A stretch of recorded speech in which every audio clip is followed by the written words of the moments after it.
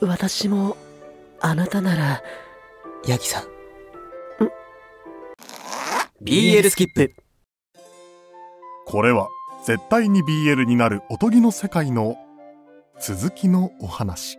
俺はあなたがいい。狼さん。そうですか。お姉さんのお子さんたちなんですね。はい姉はあの子たちを残して他界してしまってそれで私が親代わりに。たった一匹で7匹もの子供たちの面倒を見てるなんてすごい方だ。いえいえ本当にいい子たちなので私も助けられています。そうなんですね。あの俺ではあなたの力になれないでしょうか？え？もちろん種族のしがらみは理解しています。でも俺はあなたを支えたい。子供たちごとあなたを愛してしまいました。ええそんな出会ったばかりなのに。でもどうしてだろう。恐怖の対象でしかなかった肉食獣なのにこの狼さんは嫌な感じがしない。あむしろヤギさんかかっこいい。わ私でよければヤギさん。こうして狼と8匹のヤギたちの奇妙な共同生活が始まったのでした。そんなわけでこちらの狼さんと一緒に住むことになったよ。よよろしく。パパ狼悪い動物だって言ってたじゃん。そうそう。ぜ全部の狼さんが悪いというわけじゃありません。いいかい？こちらの狼さんはお前たちを食べてしまうような悪い狼とは違うんだ。私たちのことを大事に思ってくれてるいい狼さんなんだよ。えー、でもパパ狼さん今にもパパのことを食べちゃいそう。え？うわー。ちょちょっと狼さん。俺は何を？しっかりしてください。ほら子供たちが怯えてるじゃないですか。すすみません。ごごめんね。大丈夫。パパのことを食べようなんて思ってないよ。嘘だ。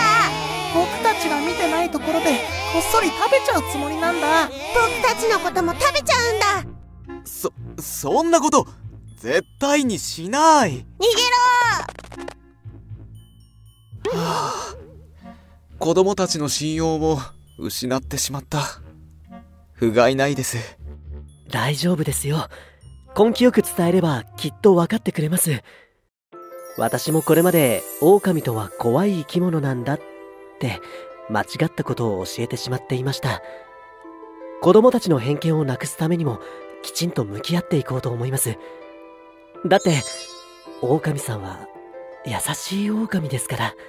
ヤギさん。こんな俺にそんなことを言ってくれるのはあなただけです。あまたまた。いえ本当に。狼というだけで怖がられてきましたから。こうして触れ合うことはおろかまともに話もできなかった。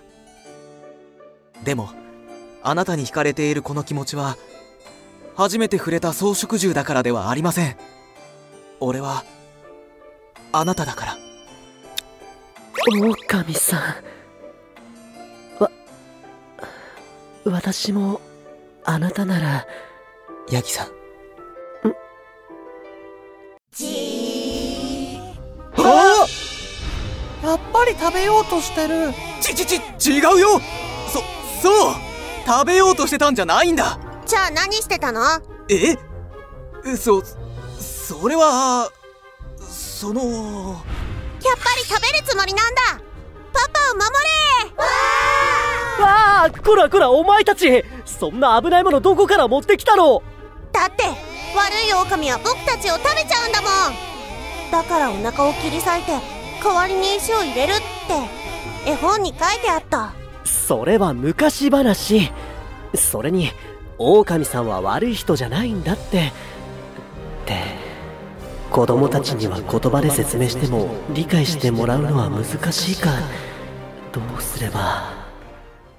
よしわかった。じゃあパパのことも君たちのことも傷つけるつもりはないって証明しよう。証明？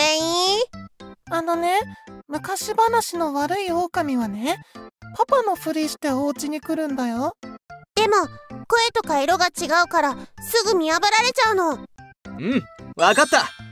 パパの上手な真似ができればいいんだな。そういうことじゃないと思うんだけど。どうかな？無理があると思うな。パパみたい。ええそれでいいのか子供たちよなんか違う意味で心配になってきた。あとねパパはいつも一緒に遊んでくれるよ。うん。かくれんぼしてるの。パパは僕たちを見つけるのがすっごく上手なんだよ。よし。じゃあ狼パパも頑張っちゃうぞ。みんな逃げろ。すみません。あの子たちの無茶ぶりに付き合わせてしまって。いいえ俺のことを認めてもらうためには何だってやるつもりです。ありがとうございます。あー見つけたぞ。ここにもいた。見つけうわあすすいません。もうノックくらいしてください。本当にすみません。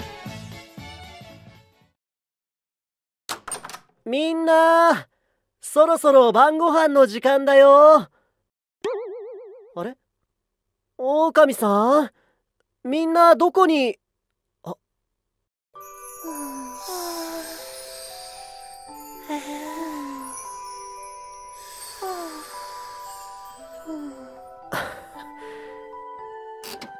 うんああれ？いつの間に？ああいえいえ。どうぞ。もう少し寝ててください。ほら見てください。あ怖い狼の前でこんなに無防備に寝る子はいません。みんな。狼さんが誠意を持って接してくれたおかげですね。俺俺もこの子たちの父親になれるでしょうか？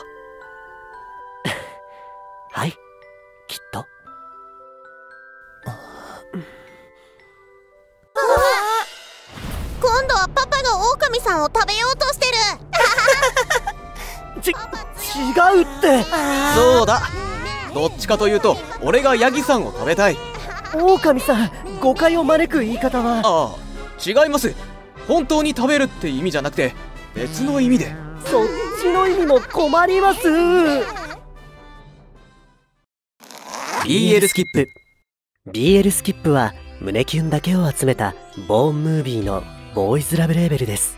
胸キュンしたら高評価ボタンとチャンネル登録お願いします。公式 SNS のほかファンサイトや pixiv FANBOX も運営しております。これからも胸キュン BL 動画を配信していけるよう応援お願いします。